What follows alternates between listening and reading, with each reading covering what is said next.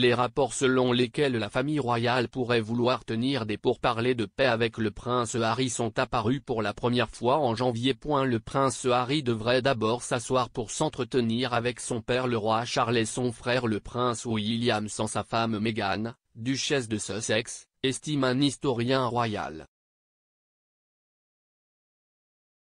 Des informations selon lesquelles la famille royale envisageait de tenir une réunion avec le duc de Sussex avant le couronnement ont été publiées plus tôt ce mois-ci.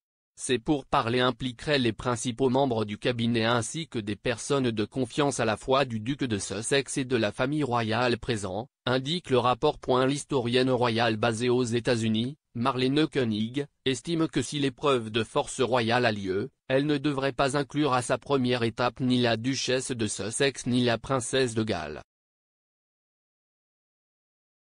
Elle a déclaré à Express, Je pense vraiment que, Harry devrait, parler à son père, son frère, ses conseillers, sans Meghan, puis l'inclure ainsi que Catherine et diffuser les choses. Parlant de ce qu'elle pense que cette réunion devrait impliquer, Madame Koenig a ajouté, je pense, qu'il, va y avoir des excuses nécessaires des deux côtés. L'un des problèmes à résoudre, a déclaré Madame Koenig, est la manière dont Meghan a été traitée pendant ses années passées au Royaume-Uni.